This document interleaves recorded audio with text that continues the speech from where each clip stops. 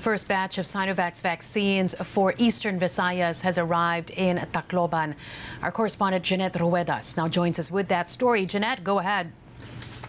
Yes, Carmina. At around 8 a.m. today, 6,900 doses of corona vaccine or Sinovac arrived at the Tacloban DZR Airport. These first batch of vaccines are intended for three hospitals in the region, which are the Eastern Visayas Regional Medical Center, the Divine Word Hospital, and Schistosomiasis Hospital. After the arrival, the vaccines were immediately transported at the DOH Regional Office Logistics Hub, which was segregated then for the three hospitals uh, mentioned. As of 11 a.m. today, um, 600 doses of vaccines were delivered at the Eastern Visayas Regional Medical Center, where um, it is expected that at 2 p.m. this afternoon, the ceremonial inoculation will start.